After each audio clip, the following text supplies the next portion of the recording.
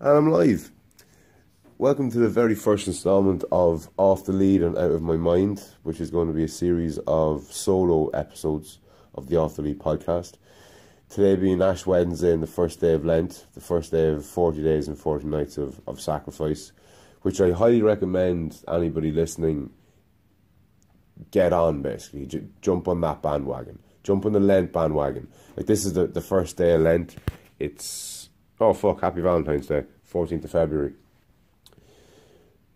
But if you're listening to this and it's the 21st of February, say, doesn't matter, just start. I'll be on episode 7 of 40, so it doesn't matter. So whenever you're tuning into this, whether it's, you know, today being the, the first day of Lent, February the 14th, or the fucking 30th of February, or whatever, jump on the Lent bandwagon and don't necessarily give up anything.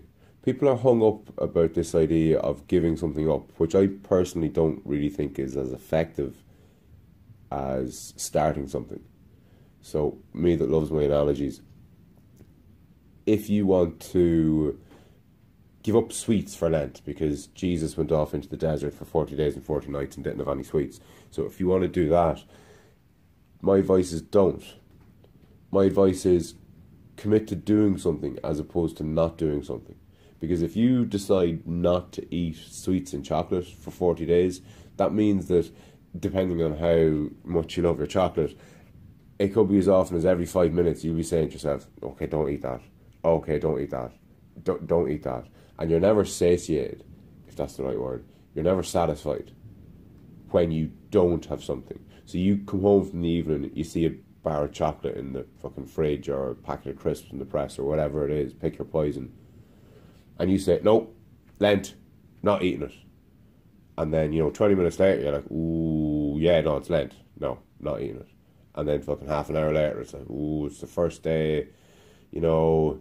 And then you start, the excuses start rolling in. You know, I'll, I'll kind of start properly tomorrow. I'll, I'll reduce my chocolate intake down to only 10% of what it usually would be because, you know, it's today. And that bastardizes the whole process. There's no element of sacrifice there at all, really. You're just torturing yourself. And what it does, I think, is it causes a load of anxiety because people feel like losers when they don't commit to what it is that they're doing. And that's that's really unfair, I think. Really unfair to, to yourself. It's it's, almost a in a weird way it's a, it's a it's a form of cruelty.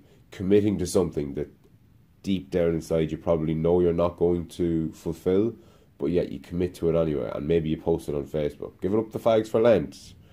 You know, how often have you seen somebody put up back in the fags, 147 days today?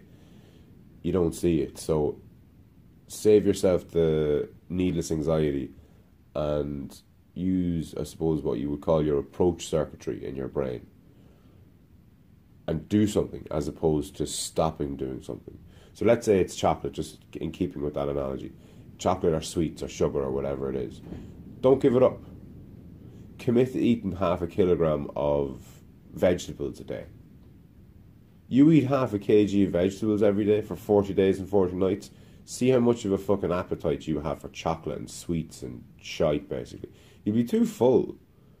Far too fucking full and that's what that's what kills people. I think on diets because they they have it in their head that they have to eat less, and you know that's not the worst of rules. It just depends on on what it is that you actually are eating.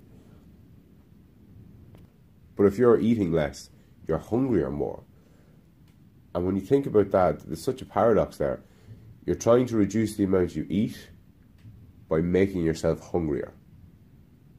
So don't torture yourself giving up stuff like that. Now, don't get me wrong, I'm not lost on the idea of sacrifice. I think sacrifice is a very good idea, and I think Lent serves a very good purpose. And I think it's no, it's no accident that Lent is at this time of year, because I think you've dusted off the cobwebs of Christmas. Spring is in the air. There's that stretch of the evening that you always get in the first week of February. You know, things are things are kind of looking up, and it's time to maybe remind yourself of the good things in life just before you come into the longer evenings and the warmer weather and the crops and you know the World Cup or fucking whatever it is that's on during the summers. But in relation to sacrifice, if you decide to say which I'm actually going to do two things, I think. I'm going to try and commit to 20 minutes a day meditating and this podcast.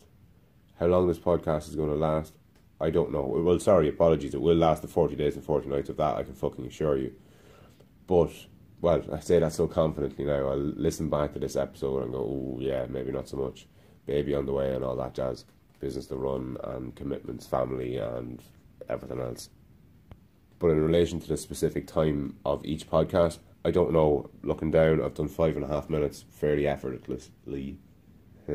Irony in not being able to pronounce the word effortlessly. Sacrifice is there nonetheless, because if I commit to take the meditation example, or take something that you're going to do, you're going to walk a kilometer a day, you're going to run 5k a day, you know, pick your poison, whatever it is, whatever you're committing to doing. You might say that whatever you're doing, you're not, that's not a sacrifice but if I'm meditating for 20 minutes every day, for those 20 minutes, I'm not doing what I would have been doing otherwise. And therein lies the sacrifice. So I suppose you're, you're getting you're getting double the benefit. You're getting all the benefit from the sacrifice of giving something up, but you're also getting all the benefit from using that approach circuitry, that dopaminergic I think that's the word. Basically, the the the brain function that produces dopamine, essentially a feel good hormone or neurochemical. I really have to brush up on my neurology. And that's another thing. I've been asking myself, what the fuck am I going to talk to every day for 40 days? And uh, worst case scenario, I'll pick something like brain chemistry and I'll just I'll do a little bit of research. You know, I'll just brush up on a couple of the basics, the, and by basics I mean the absolute fundamentals. Um, no groundbreaking research, stuff that we've known forever. Pick a Wikipedia page basically, and just give you the gist of it. I think that could be a kind of a, a kind of a cool thing. Like I've heard people say before that they're you know, reading a page a day during Lent. Now, this is obviously coming from people who aren't big readers, but they, they'll read a page a day or they commit to a new word a day. Little things, and you might say that they're trivial, but they're a hell of a lot less trivial than not doing anything like everybody. So if you're really at a loss as what to do, listening to this podcast every day for 40 days, I know that might sound very self serving of me, but fuck it, I'm here to promote the whole fucking thing. 15 years sales experience will do that to a man. But it is a kind of an easy get out. Listen to this every day, and fuck knows you might learn something. And it's not going to be overly highbrow, convoluted stuff. It's, it's going to be really basic stuff, and it's going to be stuff that I like. So if you've been listening to these conversations that I've been having with people, you're odds are you're going to fucking like the kind of content that I'm, I'm spitting out too. This particular episode being one of 40 is a lot more off the cuff, I think, than the others will be. But then again, I don't know, and that's the beauty of this.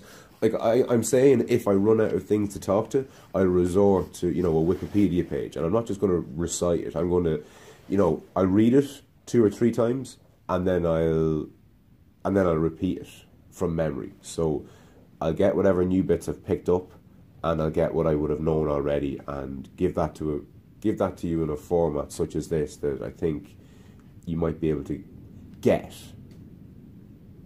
I don't know if I've spoken about this in the podcast, and again, this this off the lead, out of my mind series, call it, is going to give me the opportunity to talk about certain things that I haven't been able to talk about. Not that I haven't been able to, but when I get somebody on, I want to talk to them about whatever they bring up, essentially, or whatever they say might jolt my memory to to ask them about. Or they, will say one thing and it'll make me think of something else, and, I, and I'll ask that. I don't want to be. I don't want to be artificially inseminating my conversations with topics that I want to cover, if that makes sense.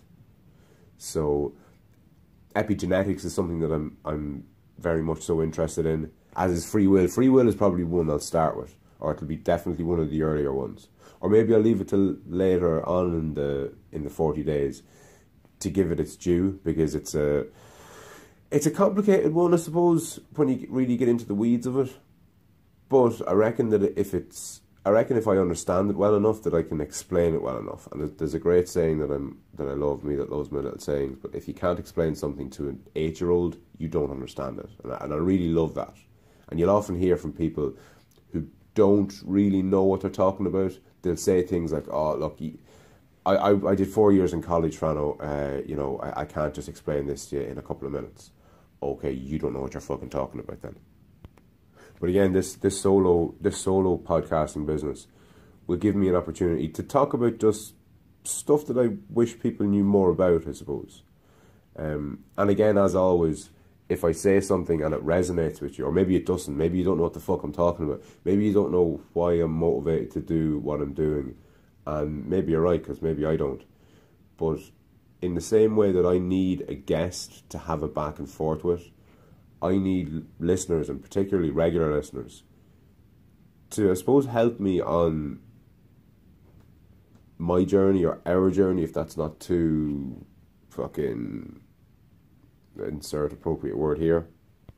The word escapes me as they as they tend to do.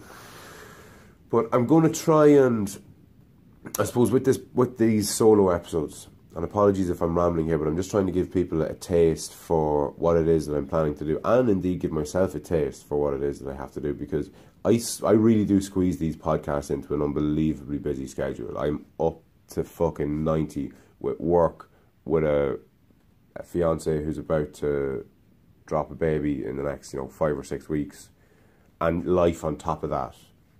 The same life that fucking everybody else has. All your trials and tribulations. I have all that and this idea of kind of starting a, a one man fucking movement.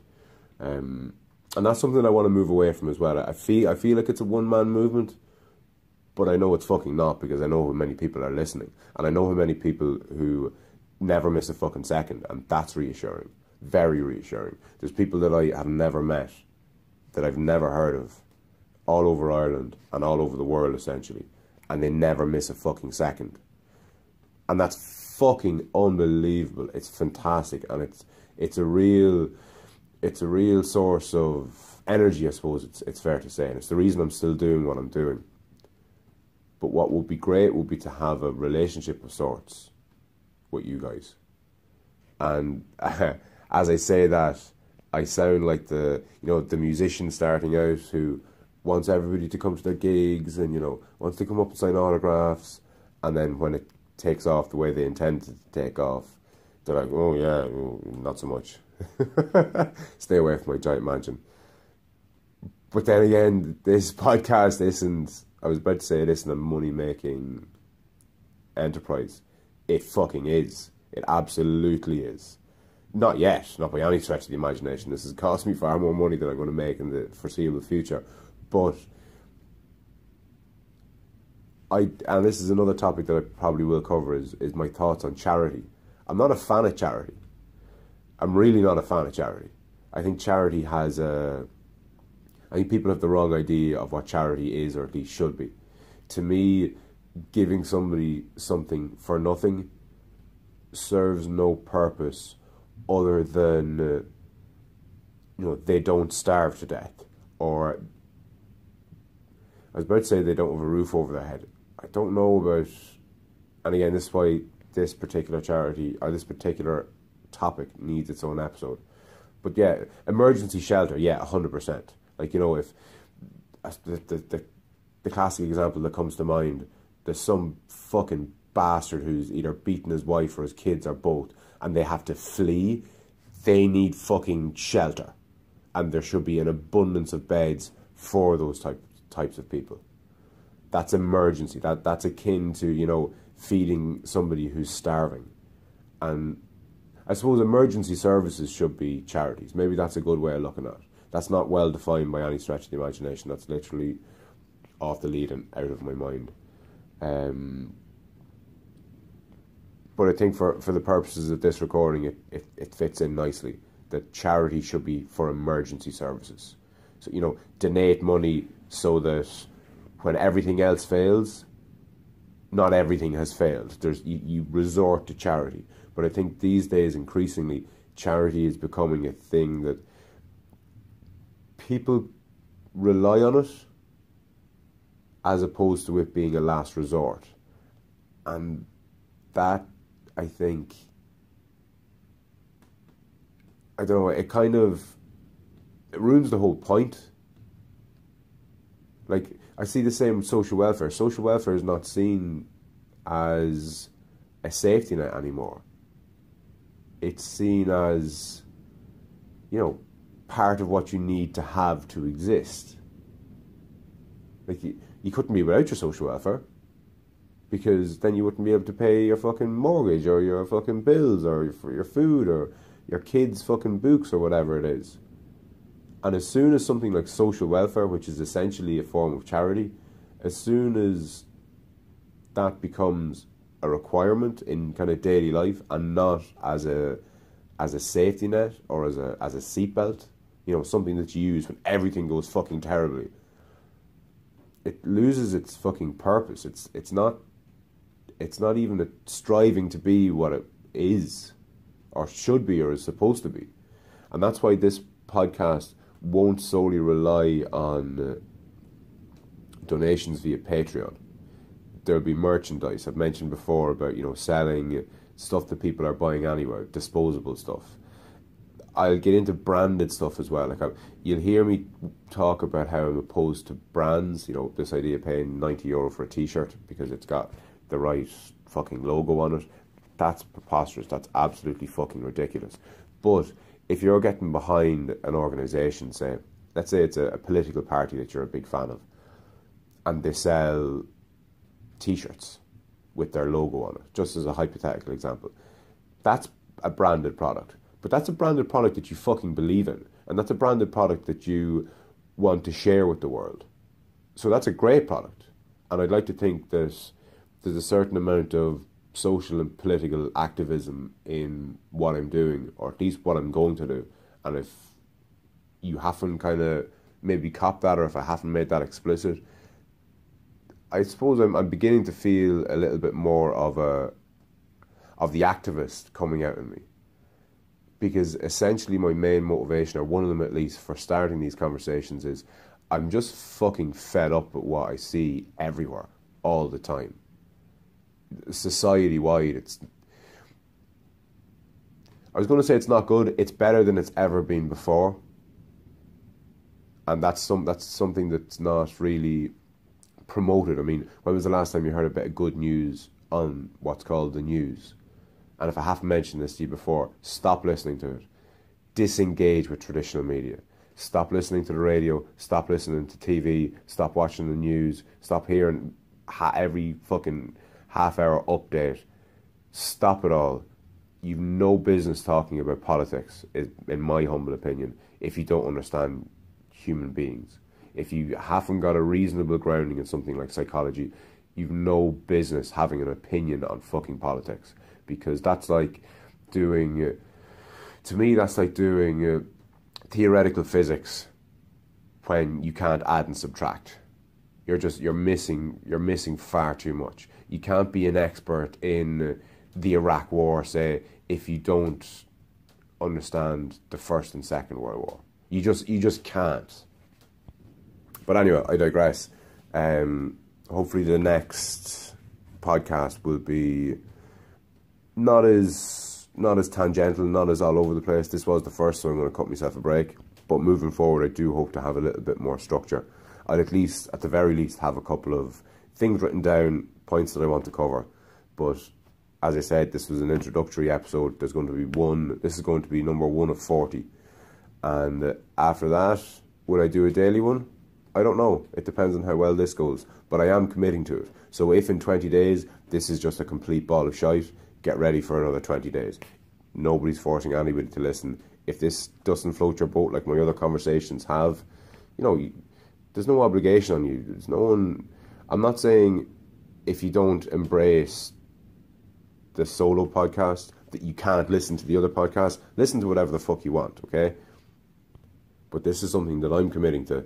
And if you do tune in every day, or even if you've just subscribed or liked or saved the Off the Lead podcast to your fucking podcast homepage or whatever it is, even just even just seeing every day or as often as you check that I have a new episode up every day, it might just remind you, just that little click, fuck yeah, I'm supposed to be doing 20 push-ups every day.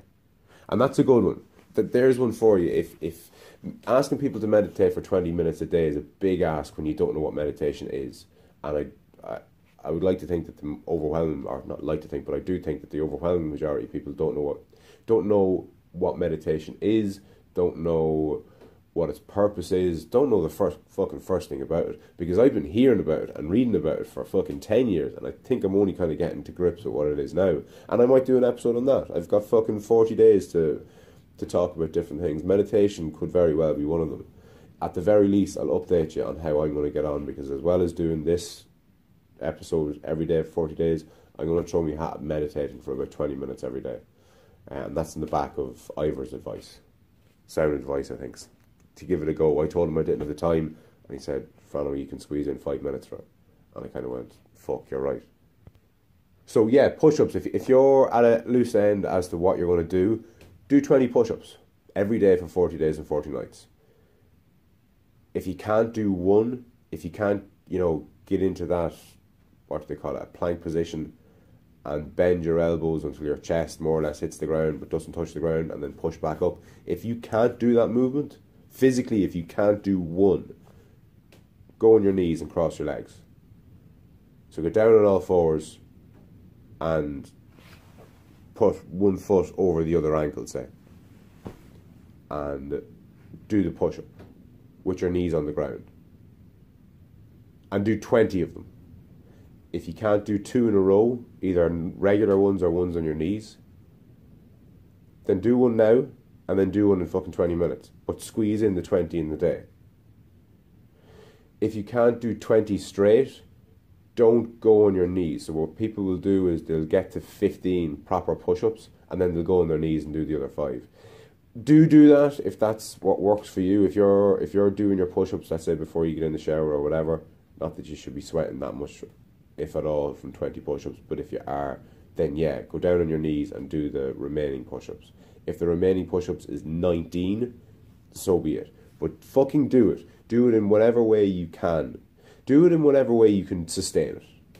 So don't go ah, and do 20 push ups and fucking injure yourself so you can't do it for the next week.